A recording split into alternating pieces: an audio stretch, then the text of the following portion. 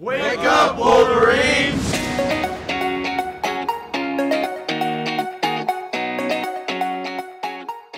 Good morning, Wolverines. Today is Tuesday, August 16th, and it is a B-Day. And Friday is also a B-Day.